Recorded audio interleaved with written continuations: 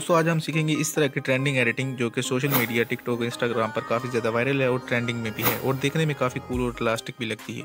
मैं आज आप लोगों को सिखाऊँगा कि हम किस तरह एक ही क्लिक से सिंपल वेबसाइट इस्तेमाल करके इस तरह के इमेजेस जनरेट कर सकते हैं अपने नाम तो चलिए शुरू करते हैं अपनी वीडियो इससे पहले अगर आप हमारे चैनल पर नए हैं तो वीडियो को लाइक कर लें और चैनल को सब्सक्राइब कर लें। दोस्तों, इस तरह के इमेजेस क्रिएट करने के लिए हम सबसे पहले ओपन करेंगे क्रोम को और यहाँ पे सर्च बार में लिखेंगे बींग इमेज क्रिएटर इसके बाद हम सबसे पहले वाली वेबसाइट को ओपन कर लेंगे। कुछ इस तरीके से आपके सामने एक इंटरफेस शो होगा जहाँ पे आप अपना ईमेल अकाउंट ऐड करेंगे। यहाँ पे ज्वाइन एंड क्रिएट वाले ऑप्शन पे क्लिक कर देंगे। इस जगह पे आप अपना कोई भी सिंपली ईमेल ऐड कर सकते हैं। उसके बाद आपकी ईमेल पे कोड आएगा जो आप इधर इनपुट करेंगे दोबारा आकर। तो आपका जो है अकाउंट साइन इन हो जाएगा। दोस्तों साइन इन करने के बाद हमारे पास इस तरह का इंटरफेस शो होगा। यहाँ पे हम एक प्रॉम्प्ट लिखेंगे, जो मैंने ऑलरेडी लिख के कॉपी किया हुआ है। मैं आपको प्रोवाइड कर दूँगा। यहाँ पे हम क्रिएट वाले ऑप्शन पे क्लिक करेंगे। एक मिनट इसमें थोड़ी सी चेंजिंग करेंगे पहले। यहाँ पे हम स्नैपचैट वाली जगह पे जो है, यहाँ पे हम इंस्टाग्राम लिखेंगे। देखें कुछ इस तरीके से। फिर यहाँ पे भी स्नैपचैट वाली जगह को सॉरी ये लफ्ज़ को चेंज करके इंस्टाग्राम लिखेंगे वर्ड को। इसके बाद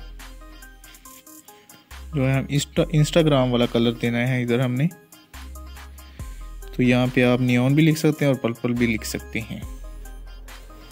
इस तरीके से। यहाँ पे आप अपना नाम लिखेंगे, यहाँ पे मैंने अपने चाल का नाम लिखा हुआ है जी एरिटेक्स इस जगह पे आप अपना नेम लिखेंगे। तो क्रिएट वाले ऑप्शन पे हम क्लिक करते हैं। थोड़ी देर लोडिंग के बाद हमें इमेजेस प्रोवाइड कर देगा माइक्रोसॉफ्ट बींग इमेज ये देखें दोस्तों, बहुत ही ज़बरदस्त इमेजेस क्रिएट हो गई हैं, लेकिन यहाँ पे अच्छा इंस्टाग्राम ये आ गया इधर, और ये यूट्यूब वाला हमने जो है वर्ड नहीं काटा था तो वो भी इसके साथ ही जो है अटैच होके आ गया है। लेकिन ये बहुत ही ज़बरदस्त लग रहे हैं, मैं अभी आपको शो करवाता हूँ।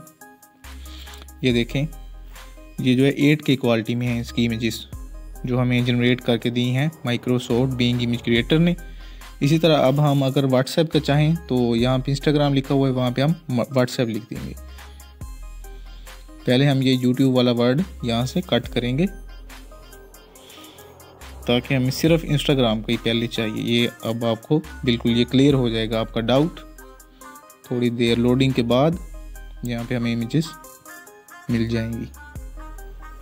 ये देखें दोस्तों, अब बहुत ही ज़बरदस्त इमेजेस हमें प्रोवाइड कर दी हैं।